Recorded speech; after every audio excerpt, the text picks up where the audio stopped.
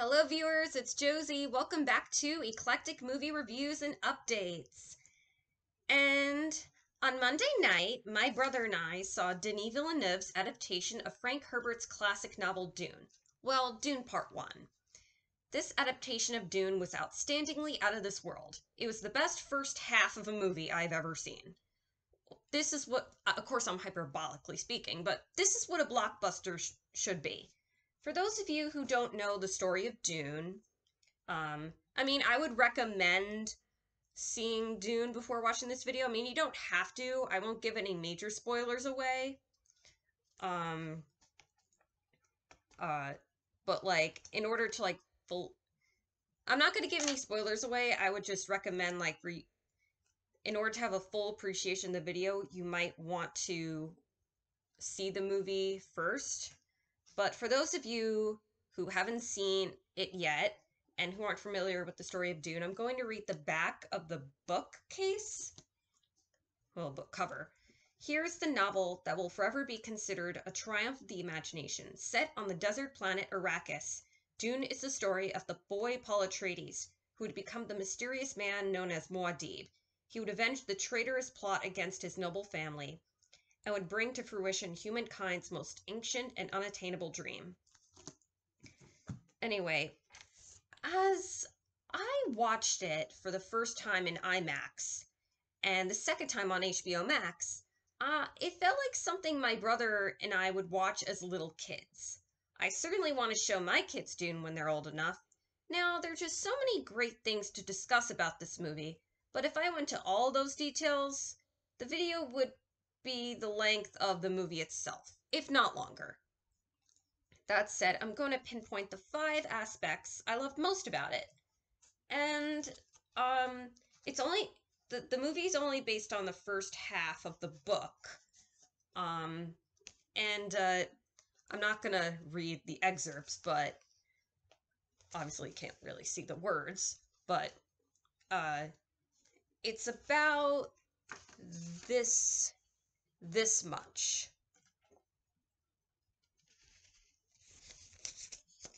This this much and then I get this half. you get the idea. the second half will be part 2. Okay. Reason number 1. It is very faithful to the novel. Not only does it follow the story super closely, but also the atmospheric tone of the novel.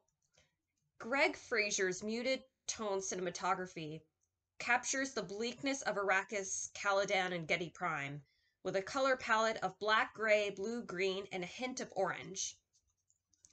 These colors correspond to the melancholic mood melancholic mood of the book series. Um, since um, uh, um, past the first book, it um, from what I know, it plays out like one elongated Shakespearean tragedy. Uh, for the grim wasteland and futuristic setting Dune has, the production design and set decoration are jaw-droppingly beautiful. I could make a whole video listing all of my favorite props. Shout out to production designer Patrice Vermette, as well as set designers Richard Roberts and Zuzana Sipos. The desert is obviously an important setting and symbol in the novels, and Villeneuve and team shooting in the actual Jordanian desert where they I believe they shot Lawrence of Arabia brings the desert sands of Herbert's pages to life. Moving on to number 2, the performances. Timothée Chalamet is the perfect Paul Atreides. With how good he was in this, knowing that the second half of the novel is dramatically chaotic, I can only imagine how he will shine performance wise in part two. Re- Rebecca Ferguson as Lady Jessica Atreides is also fantastic. Jason Momoa is quite humorous as the badass warrior Duncan Idaho, but he he actually does give some real acting. Uh, Stellan Star- Skarsgård is menacingly good as Baron Harkonnen, um, and I also really like David Dastmalchian as Piter. David Dastmalchian has had quite a year with with this and the Suicide Squad. Oh, Polka Dot Man. Uh, Zendaya, for the small role she has, is supremely magnetic. In spite of her limited screen time, her character has a major impact in the narrative. And more importantly, she'll be a, major key player in Dune Part 2. Um, in an interview a while ago, Denis Villeneuve said that she will basically she'll be the female protagonist. Um, reason number three, the visual technicals. As I stated earlier, I can write a whole costume laundry list of all the art amazing visuals. It has some of the best us- usage of practical effects I have ever seen. Seeing on IMAX made it extra immersive, especially with the surround sound. That's why you need to see this movie on the biggest screen possible, if you can. That's become a cliche hook line when promoting this movie, but it's true. The film really is a transcendental experience. Other eye popping visuals were Paul's Dreams, masterfully edited by Joe Walker, who edited Villeneuve's previous films, Sicario and Blade Runner 2049. He also edited 12 Years a Slave. The dream sequences, according to editor Joe Walker, were one of the hardest things to edit. This brings me to my point about how part of why this movie works so well is the editing. The pacing is great. The film takes its time in introducing us to the Duneverse. In an interview with Matt Neglia from the Next Best Picture podcast, Joe Walker stated that it took 20 months to edit the film, he added that a blessing in disguise from COVID was that he and Denis Villeneuve got to work on post production for a longer period to perfect the film. Reason number four the auditory technicals. Hans Zimmer, you did good, my friend, turning down Tenet to score Dune. I love Tenet, and Ludwig Göransson did a great job scoring that, but the score for Dune transcends music itself. It's career defining and Oscar worthy for sure. The music and sound design blend superbly well as they did in Blade Runner 2049. The score here sounds like a mix of Gladiator, Blade Runner 2049, and a wee bit of Prince of Egypt. It fits the narrative flow of the story and matches the epic shots and set pieces. While the score and sound design are excellent, there are a few brief moments of silence that are equally beautiful. And I think in an interview, um, I think it was Denis. It was it would think it was Timothée Chalamet who said that. Um, one thing he loved about shooting in the desert was the was the silence. Like, my, like I guess a mindful experience, if you will. And then fifth and final reason the directing of Denis Villeneuve. Not only do we see Denis Villeneuve's love of the source material through his realized vision and attention to detail, but also his love for epic cinema. His cinematic influences are there. Baron Harkonnen getting out of the bathtub is a nod to Apocalypse Now. The shots of the desert are reminiscent of Lawrence of Arabia. There are a couple of shots of, of Chani during Paul's dream sequences that remind me of how in Gladiator there's some images of Maximus's wife and son in the afterlife. Hans Zimmer's music only further reminds me of that. All in all, nobody else could have done what Denis Villeneuve did here.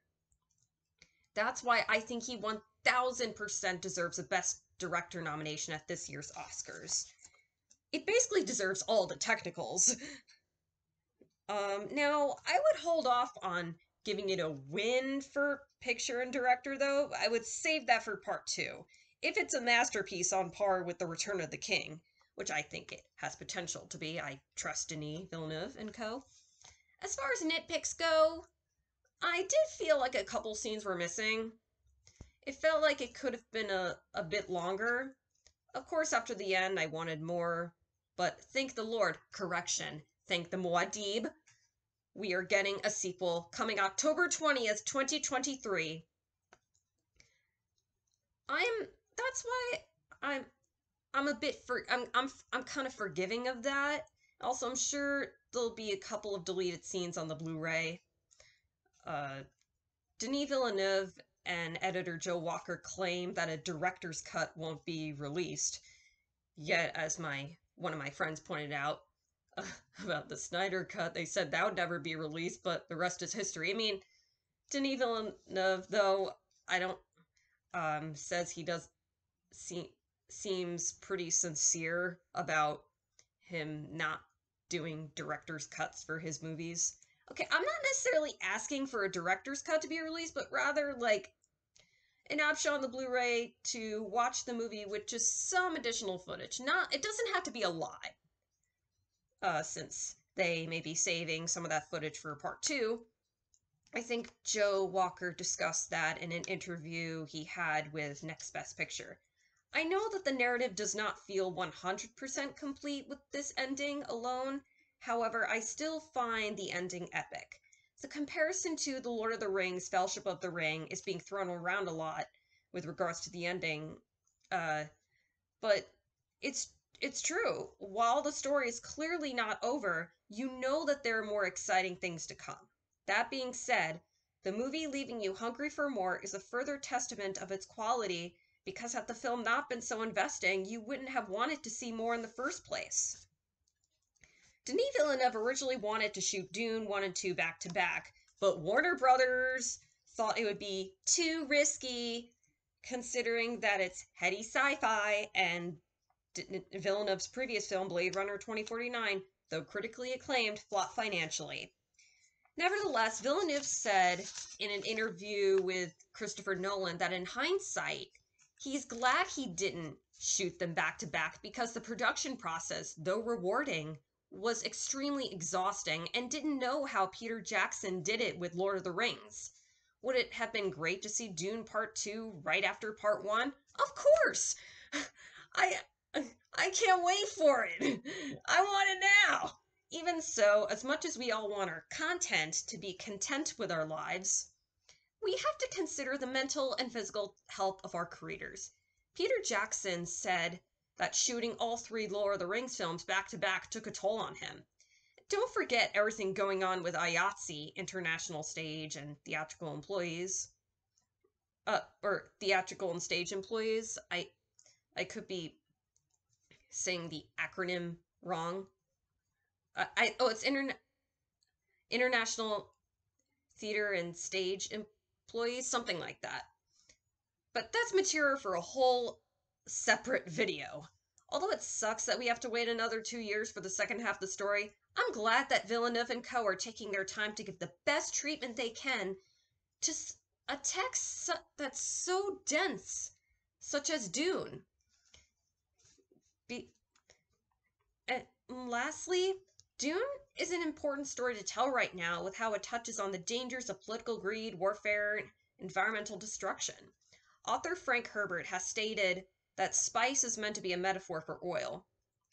That is definitely the case, but I, but can also see parallels between spice, pharmaceuticals, and opioids, given that spice is meant to have healing power. I mean, uh, I don't know what Frank Herbert or his son Brian would have to say about that, but that concludes my review of Dune Part 1.